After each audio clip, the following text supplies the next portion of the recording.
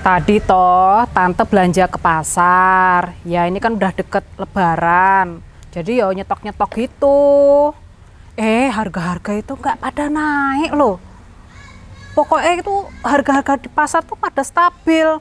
Nggak kayak biasanya kalau pas lagi musim mau lebaran gini. Waduh harga-harga di pasar itu julang tinggi. Ya kayak emak-emak kayak tante gini ya rada pusing kalau harga-harga pada naik ya toh tapi ini alhamdulillah nggak ada yang naik. Berkat Pak Jokowi. Matur nuwun nggih Pak. Eh by the way toh tadi tante tuh sekilas lihat berita itu loh. Pak Prabowo sowan ke Pak Surya Paloh. Nah di pertemuan itu Pak Prabowo mengutarakan niatnya untuk nyapres lagi buat besok tahun 2024. Hmm. Lah, Pak Prabowo itu kan yo sampun sepuh gitu. ya gimana ya?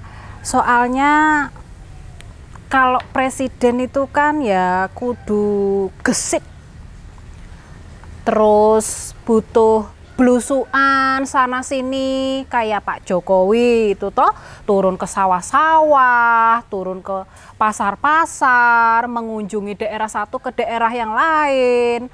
Lah kan kudu sta membutuhkan stamina yang luar biasa, yang kuat supaya nggak jatuh sakit.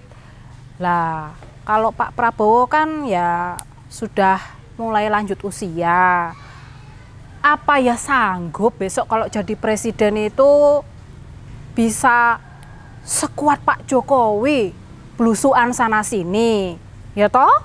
Nah itu.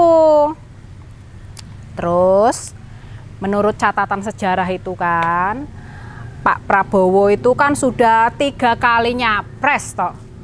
Pertama itu tahun 2009 ya toh?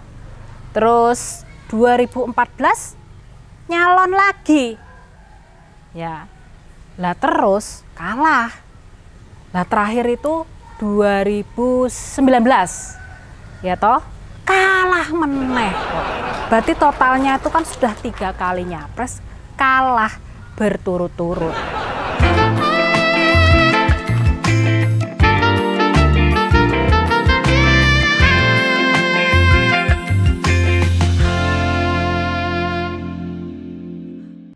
Lah sekarang kalau beliau ini mau nyapres lagi yang keempat kalinya lah nanti kalau misalkan kalah nyapres lagi nggak jadi presiden malah jadi masuk rekor muri toh pak.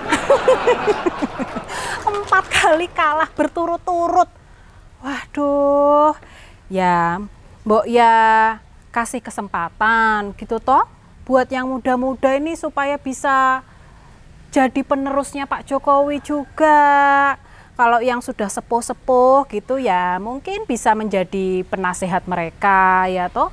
Beda sama Pak Jokowi. Pak Jokowi itu menang dua kali pemilihan wali kota Solo. Berturut-turut loh nggak pernah kalah. Terus habis itu naik lagi ke gubernur DKI Jakarta, menang lagi. Lah, terus habis itu naik lagi jadi presiden dua periode, nggak pernah kalah loh Pak Jokowi.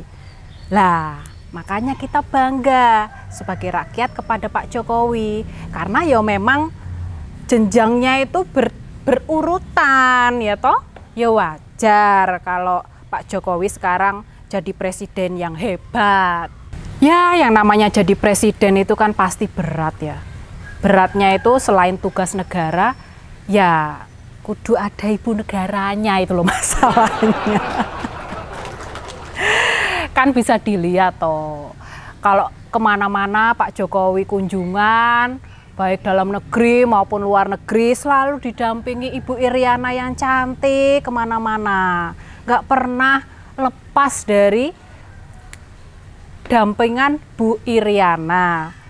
Terus kalau setiap upacara kemerdekaan 17 Agustus di istana itu loh, Wah, Bu Iriana itu dengan mesranya merapikan jasnya Pak Jokowi, ngerapiin dasinya Pak Jokowi, pecinya juga dirapiin dengan senyum manisnya itu.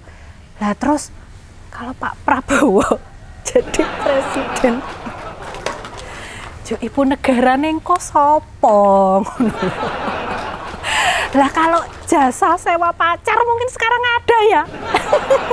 Lah sewa ibu negara ini piye? ya enggak ada toh. Yo agak berat toh kalau Pak Prabowo itu mencalonkan diri lagi menjadi presiden 2024. Terus yang menjadi alasan lain mungkin yang agak berat gitu ya di mata masyarakat untuk memilih Pak Prabowo ya mungkin terkait hmm, masa lalunya Pak Prabowo juga. Ya semua orang sih sudah tahu ya, tante tuh nggak perlu ngomong lah, mbok salah aku, wedi aku nek ngomong. ya menyangkut masa lalu Pak Prabowo itu semua orang kan juga sudah tahu, jejak digitalnya juga ada. Ya mungkin nanti kalau nyalon lagi masyarakat tuh jadi enggan memilih. Yo abot nek ngono kuwi. Ya toh masa lalunya yang dulu-dulu itu loh. Makanya sekarang yo masyarakat yo seperti tante lah ya contohnya yang orang awam seperti biasa. Tante masih ingat loh dulu waktu kasus 98 itu loh pas lagi rame-ramenya itu loh.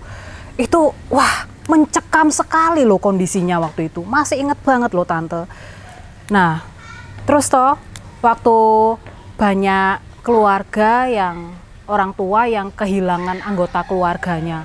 Itu aduh ngeri banget sampai wah kalau ingat kejadian itu tuh tante tuh sampai merinding loh. Jan. Jadi wah ricuh luar biasa wes pokok itu. Kacau semua kondisi di Indonesia ini. Makanya sekarang tuh kalau kita mau memilih calon presiden berikutnya ya kita tuh kudu bisa memilih sesuai dengan sepak terjangnya dulu seperti apa track recordnya zaman dulu.